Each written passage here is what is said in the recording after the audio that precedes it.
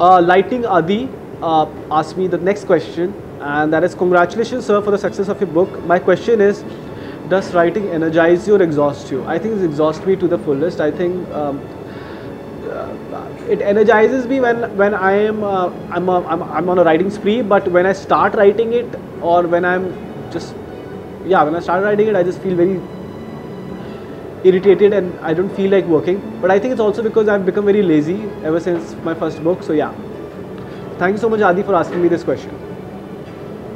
The next question is by Ash Maker, and he has asked uh, which character you lived the most, Kalki or Kali? Are you a morning person or a night person? Okay, so this is like multiple questions again, uh. So first of all, thank you for so many asking so many questions.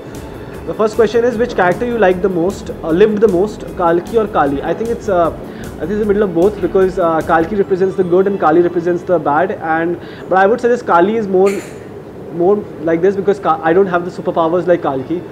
So uh, and I, but I do have some uh, gossip sort of. I'm a very gossip kind of a person, gossipy kind of a person. So yeah, I mean, I'm I'm a little bit like Kalki. And are you a morning person or a night person? I'm a night person definitely when I'm writing the book, and I write till four o'clock and all. But for Sinbad, for instance, my recent uh, project, I wrote in the morning, so there's a difference. And the next question is, are you gonna make your own universe like Sir Amish Tripathi is doing? Uh, yeah, I think I am because I'm already working with my editor for my next book, which is actually based on uh, Varaha, and then I'll be writing on Narsimha, and I'll be writing on Vaman. So I think it will be like a entire universe surrounding around Kalki's universe only. So yeah, it's like that. And is there the next question is is there any chance to bring Kalki series in Kindle or EPUB for PDF edition? Um, I think it's not dependent on me. I think it's dependent on the publisher. Um, I think they don't want to go that route because there has been a there's been already a good reception from the P, uh, paperbacks. So uh, they don't want to go that route. I guess I'm not sure. I've not asked them. So yeah.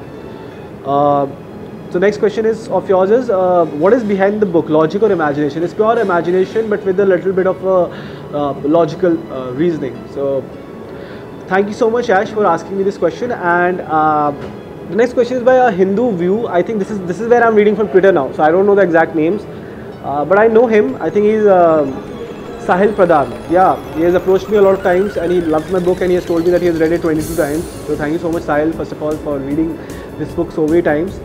Um, he has said, "Hi Kevin Missal. I wanted to know what are what, what are the limitations of writing on mythological characters, and why to write on Kalki."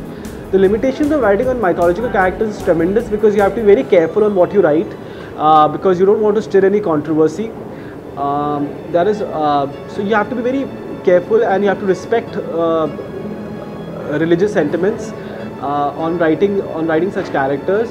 Uh, with me is that I made Kalki how he was uh, mythologically, but I changed the other characters in the book, which kind of like made me work in, with freedom, you know. So I think that's what helped me. And why do I write on Kalki? As I told in my previous questions, in previous answers also that uh, Kalki is just first of all it's someone who people have not write, written on.